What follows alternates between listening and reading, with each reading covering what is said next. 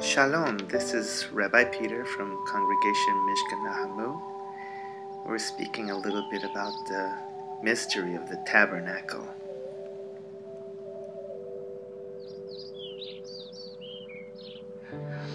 I didn't come here thinking, okay, what would be a good thing to share today?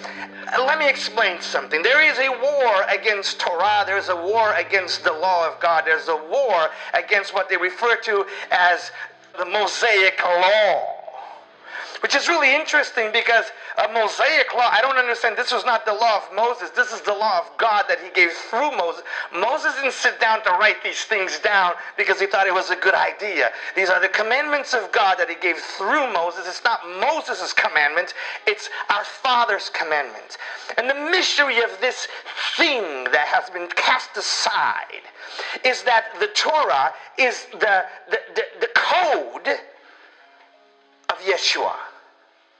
It's as if you were a computer programmer and you put this elaborate code together and nobody wants to read it because it's too weird and too complicated. It makes no sense. But if there is one slash that's forward and it's supposed to be backwards, or if there's a comma missing, or one dot, or anything that's missing from that code that the programmer establishes, when you hit play, it will not work. It cannot work. And when you press play and it doesn't work, the, the, the, designer goes and says, Wait a minute, did you look at the code? No, we don't need the code. We got grace now. We don't need no code. The code is for yesteryear. And the designer says, What are you talking about? The program doesn't work without the code. It don't matter how much you pray, it will not work without the code. And so somebody has enough sense to say, I know we're under grace. I know God loves us. I know all that. But can somebody please check because the code doesn't seem to be doing what it was supposed to do. And you know it because we're still praying for sick people. We're still praying because people die. We're still praying for mental disease. So the code, let's be real, the code is not working as it's supposed to be. For he said it, if you believe, signs and wonders will follow you. And we are sons of the living God. We're sons and daughters of God, and we believe these things. Why aren't we seeing the miracles? Why? And and and I, I okay, oh, I saw somebody here last year. We're supposed to see people healed every day.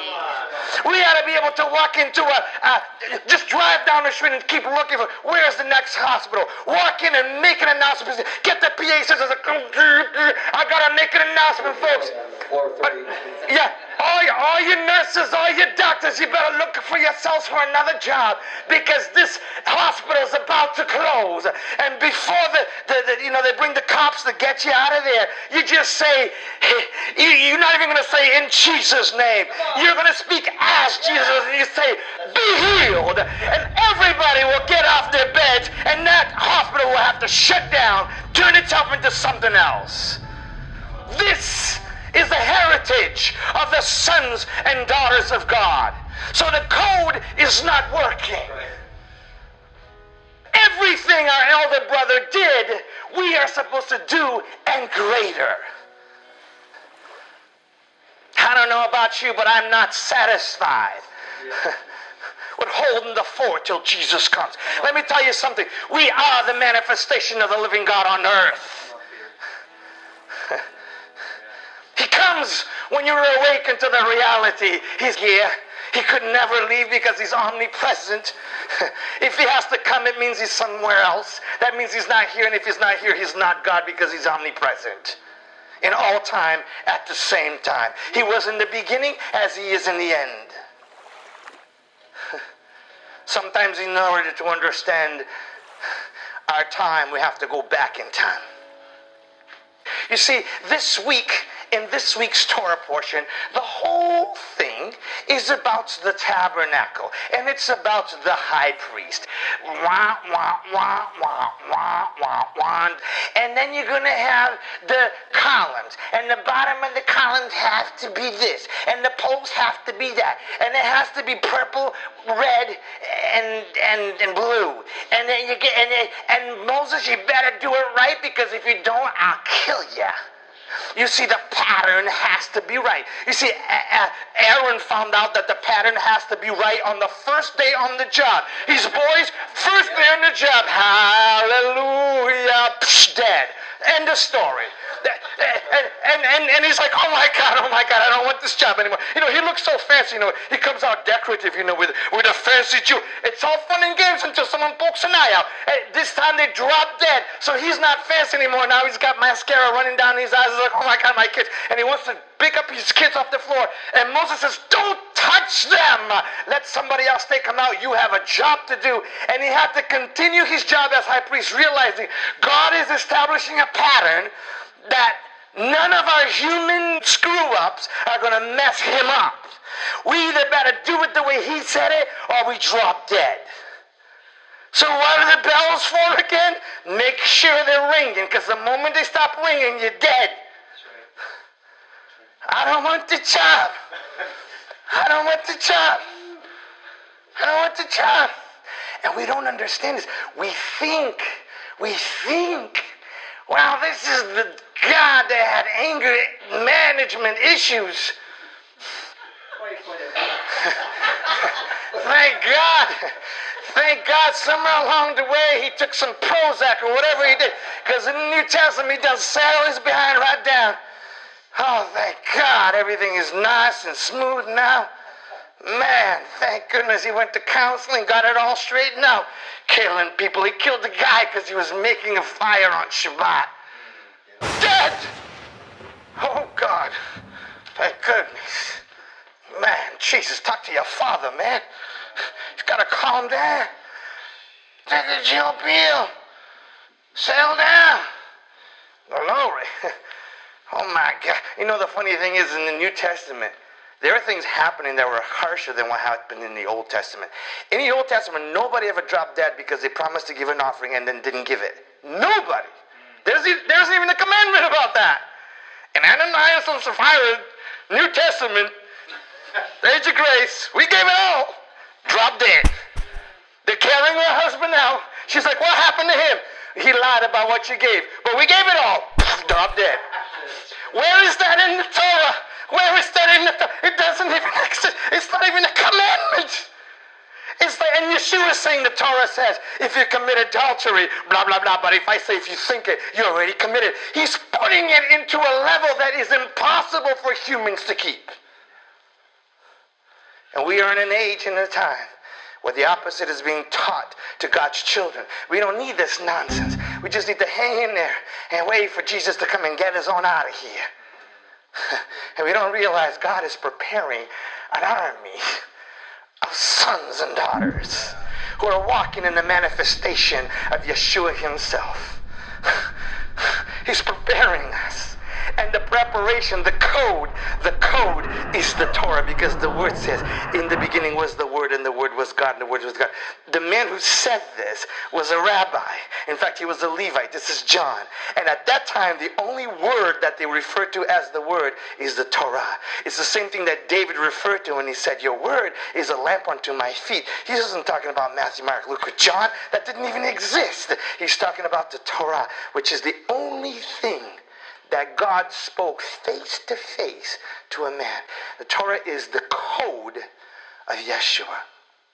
It is the reason why in the scriptures it says that you cannot sacrifice a lamb unless the lamb is one year old. Why? Because a one year old lamb has gone through the entire cycle of a Torah all the way around the year because the Torah is divided through all the Shabbats around a year. So that lamb has gone through the festivals, he's gone through all the Shabbats. You cannot sacrifice a lamb that's younger than one year because it means he didn't get the complete code, and the complete code is Yeshua. So this week, what's the code talking about? This week we're on the page that has to do with the tabernacle. This is the pattern of the tabernacle, so precise that God said to Moses, if you miss one measurement, if there's anything that is added to or taken away from the pattern I've given you, you will drop dead. I'm going to raise somebody else who will do it exactly the way I told them. Why? Because when you're setting up a pattern, the pattern has to be perfect because a pattern is used for the many that will come afterwards. Somewhere along the way, somebody had the idea of making these pants. And they didn't just make these pants. They thought about making the pants. And the first step to making the pants is you have to make a pattern because the pattern of the pants aren't the pants themselves. The pattern is longer on the hems and all the all the things. Everything is there, but it's a pattern. And you're not going to use the pattern to, to, to wear. You're going to use the pattern to make a duplicate and multiply the, the pants, and they all fit perfectly well. Now somebody out there say, glory, hallelujah, praise the Lord. I'm feeling it, I'm feeling it. But about this time, he says, what does this have to do with pants? It has everything to do with pants. Because this is a pattern of a greater thing. So, my God. Okay, this oh, oh okay, this is this is where you bring the sins, the altar, cracks me up. People still having altar calls. I never understand it. See, the altar call is not for the people who sin. The altar call is for the Lamb who takes away the sins of the world. The, the Lamb comes to the altar so that you don't have to. But it's okay. It's going to be all right. No, no, you cannot bring any animal past this because the sins stop here. The, the waste, the, it cannot enter. Okay? After that, then you, you have the laver of water. And this is where you, you, you the priests would bathe themselves. They used this water to do all the ceremonial things in, in the tabernacle. And then after that, there's a little curtain, and then there's bread, and then there's a lampstand. And it has to be here and there. You can't say, well, I don't like this decoration style. We need to change it up a little bit. It has to be where it's supposed to be. And then over here in the middle, right here in this area, you have this incense, a box with incense, and smoke is going into the whole place. All right, it's over there. And then there's another curtain, and here only one person can go in here. That's the Holy of Holies. And the Holy of Holies, there's the Ark of the Covenant, and it's got the two tablets. And, it actually had manna and Aaron's rod in there too. All right? And God gave this pattern to Moses exactly 40 weeks before the presence of God entered into the tabernacle, which is the same exact moment of time that it takes for us to be built in our mother's womb. So it's a process of being conceived and then being born. Moses set everything, and when he was done setting it up according to the pattern, on that day the cloud of fire came down and filled the tabernacle with the glory of God.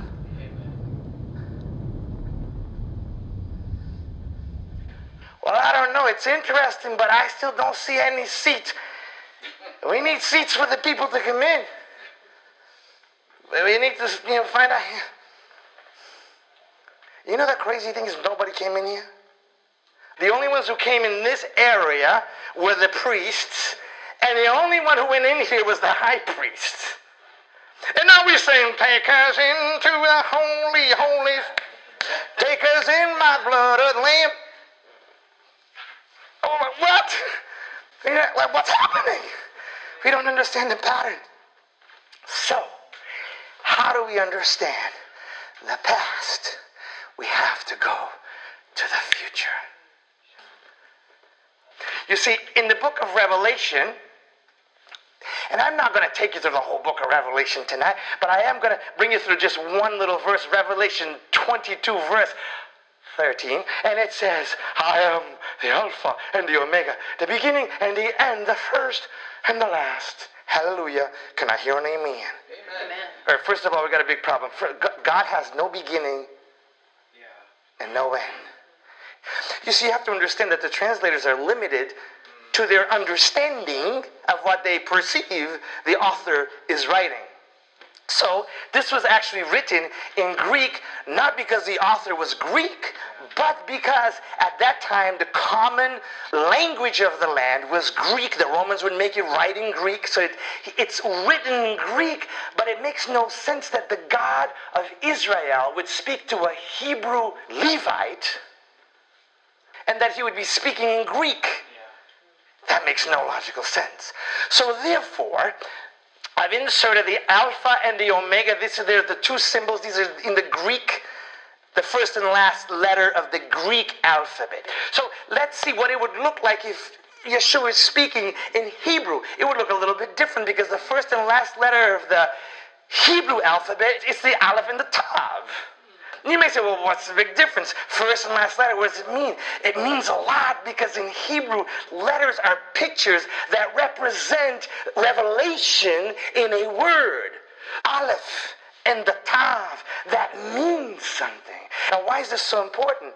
Because you see, John, as a Hebrew, would have known that in the Torah, there are thousands of mystery aleph tavs that it's not a word, it has no grammatical value, it's there, they cannot take it out, and they don't know what it is. Because it's not a word, the translators, when they translated all of our Bibles in English and Greek and Portuguese and Spanish and French, they could not put this word in the scripture because it's not a word that exists. So they simply omitted it from the text. What I'm going to do here is I am going to substitute Aleph Tav with a little heart. I'm going to do that because we all can relate to that, but this we still can't relate to because we're not used to seeing this little symbol here. You with me so far? Yes. Okay. This is Hebrew scripture from this week's Torah portion. This is the description of the tabernacle. And this is how you would see it. And as you can see, for most of us, this is not really easy to look at. We, it, th- nothing stands out. But what I have done is I have inserted the heart where all the Aleph Tav appears in this scripture. That's how often the Aleph Tav appears on the description of the tabernacle. Now, John would have known this exists, but he did not know what these hearts were until in the island of Patmos, Yeshua said, By the way, the great I am that you know of, like the one who spoke on the mountain, is the mystery Aleph Tav that you've read but you did not know. So go back to your memory bank and start reading the scripture, knowing that there is more to the code than you realize, because now you know the mystery of the Aleph Tav. This is in English, you know. The tabernacle, its tent, and its covering, its clasps, its frames, its bars, its pillars, and its bases. Amen. The ark and its poles, and the atonement cover. And wah, wah, wah, oh God, please. Some of you are saying, oh my God, I wish I would have sat next to the door because some people already got out. I'm in the wrong seat. it's true. This is what you're reading. But let me show you something. Let me insert the Aleph Tav where it belongs in the English text. This is just eight verses of description, and in eight verses, there's 41 mystery Aleph Tavs appearing that have been removed. I tell you the truth, there's more about Jesus in the Old Testament than you could ever fit in the New Testament, and it was all removed by translators who had no idea what this meant when they started translating the word without leaving it intact as the Hebrew text has always been. Over 9,000 have been removed. I don't know if I can answer a question. When you read it, Yeah, yeah, yeah. So, so, so let, so let me read. So let me read it. This is okay. So, so because we relate with, now we know what the heart is. What's the heart? The heart is Aleph Tav. Aleph Tav is who? Jesus. Yeshua. Jesus. Jesus. Glory, Jesus. Amen. Ready? You with me? It begins. Jesus, the tabernacle. Jesus, its tent. And Jesus, its covering. Jesus, its clasps. What is he saying? Every single thing in the tabernacle is Jesus. So the pattern has to be perfect because this is the pattern of Jesus.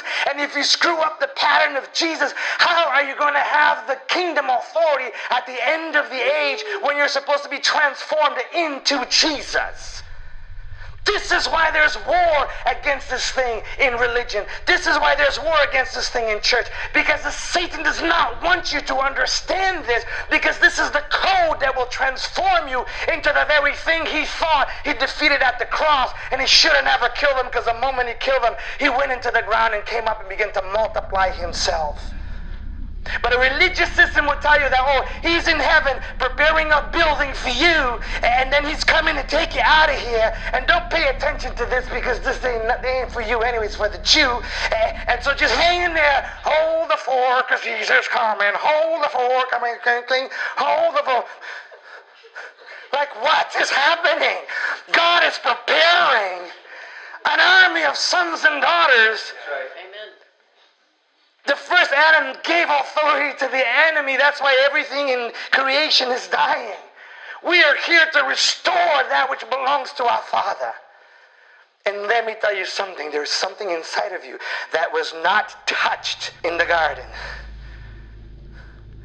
You know why? Because Adam never ate from the tree of life. The tree of life is the Torah code of Messiah. This, which is unlawful for humans to hear, it's lawful for you to hear because you're not a man. You're a new creation. Not a renewed creation, a new creation, something that was not formed in the Garden of Eden. Because when Adam was formed, he did not have Torah inside of him. He would have if he would have ate from the tree of life. He never touched it, which means that never entered humanity. So that was untarnished, waiting for a season that someone will say, I'll eat it. And this day you said it. This is a rabbi who's eaten the Torah, and it is true.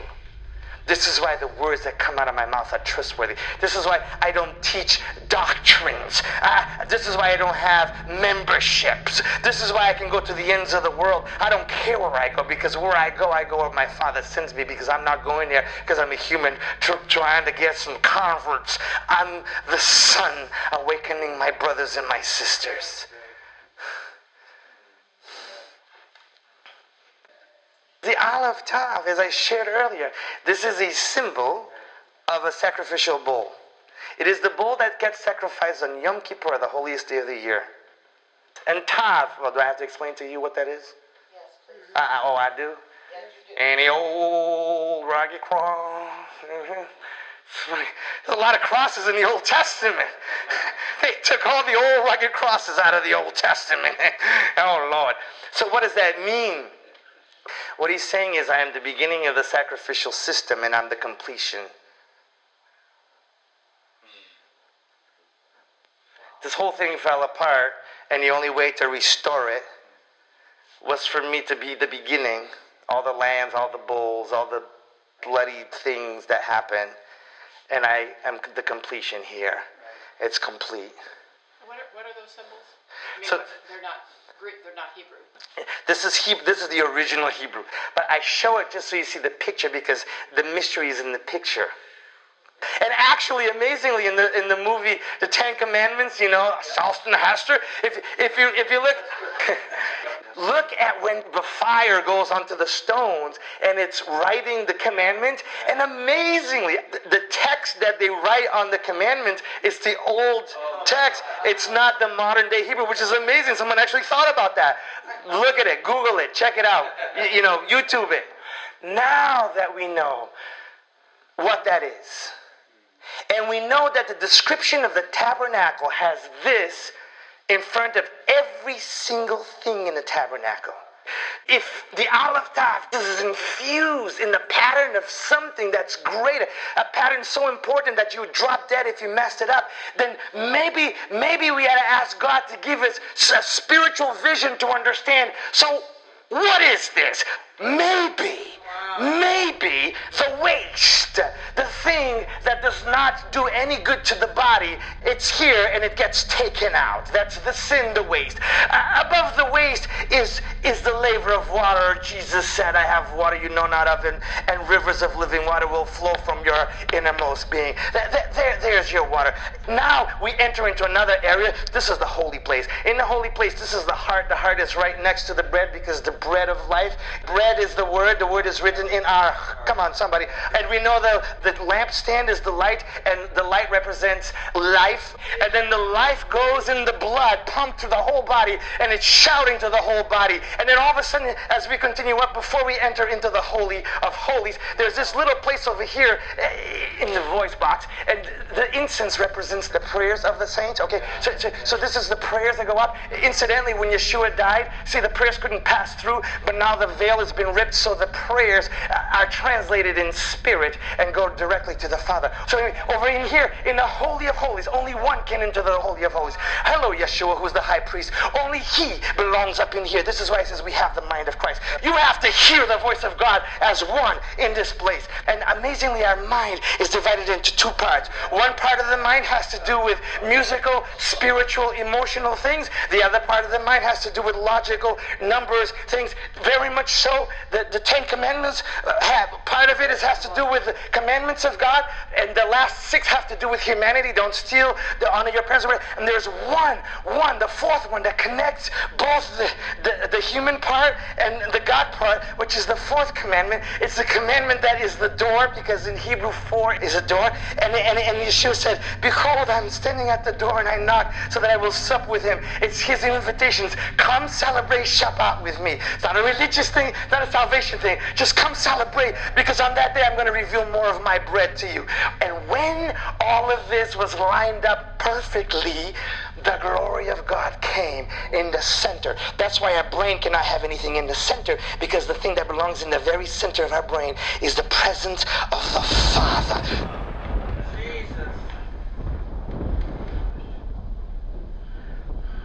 This is why we cannot speak against one another because you're not speaking against a human who has problems.